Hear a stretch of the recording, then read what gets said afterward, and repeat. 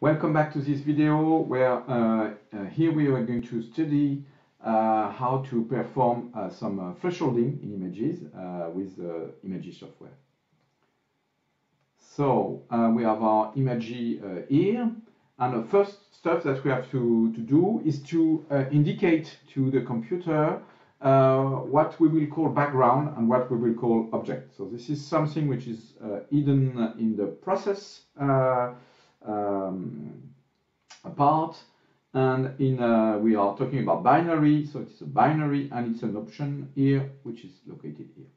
In my case, I like to put background in black and object in white. So this is very important that when I will do some uh, um, when I will do some uh, threshold, I keep this in mind because in the end, uh, what the software will analyze when we will do some counting of a object or some measurement of size of object he will take into account that everything which is white is counted as an object, while everything which is black is not uh, processed uh, at all. So this is somehow the protocol that I have um, uh, dealt with my uh, with my, with my Fiji. If you like to have a white background and black object, you just have to change this. But this is important that you are aware of what is selected here so that everything you do uh, in thresholding and image, image further analysis is uh, uh, in accordance to what is written here.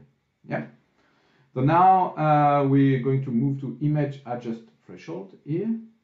Uh, okay, sorry, we need to first open an image. So let's uh, let's open an image here. We'll open the muscle image and we're going to do some image adjust and threshold. This is a way of uh, making an image binary while controlling the, the threshold.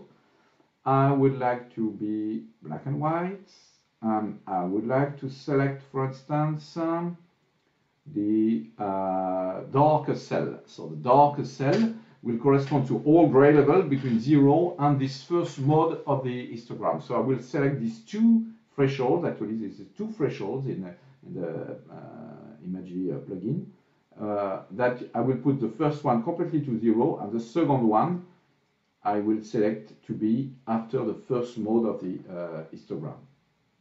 When I do uh, this, I see that somehow I get almost a perfect, not perfect, but a very good uh, version of what corresponds to the darker uh, cell. If I want to apply uh, this, I just press on uh, apply and I will uh, only after uh, pressing on apply getting a binary image. I could be also interested in selecting, for instance, the other cells, so the gray cells, and this would be this, yeah.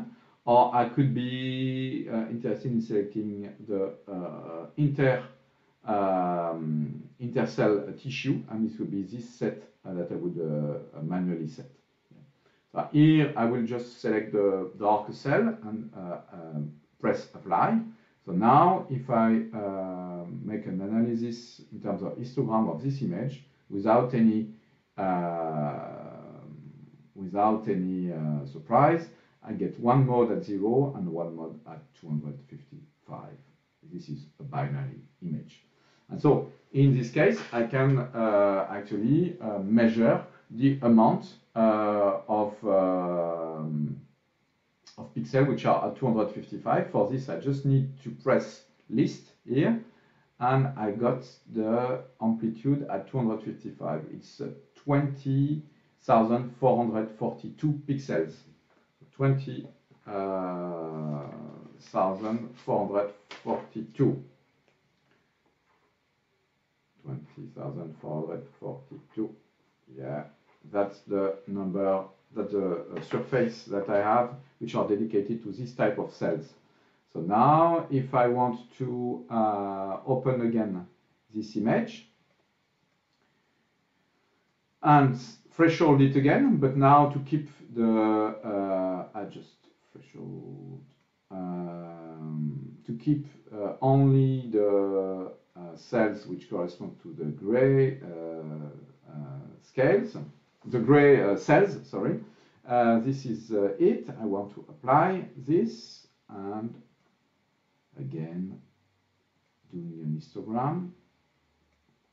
Now I will measure the amount of uh, pixels which are at level 1. It's 41,000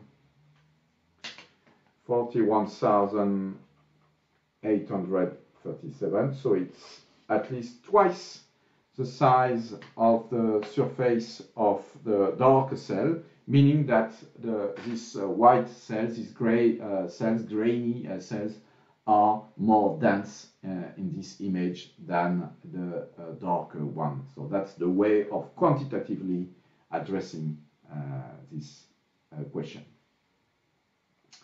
If I reopen it again to, to finish this video, and I, here I, I fixed manually the um, the threshold uh, in the image, and I could be interested in um, having this threshold being automatically uh, set. And I need to go to auto threshold in this case, and I can try all uh, all objects, uh, all, all, all thresholds uh, methods which are included in, uh, in ImageJ. So if I just select this, up, I got a window where I've got all the, the methods and I can maybe select the one which are the most adapted to me. For instance, this one here, the MinError, seems to be quite well uh, adapted if I would like to have the segmentation of the dark cells. Yeah. So if I use it directly, I will have an image which would correspond to something uh, that I would have uh, had if I had uh, set manually the threshold to the uh, to the value on the modes uh, on the on the valley between the modes, like I did it previously. Okay, so now you know how to, to do some uh, thresholding of uh, images. This will be very useful in many of the applications that we will do. So um, uh, see you in the next video.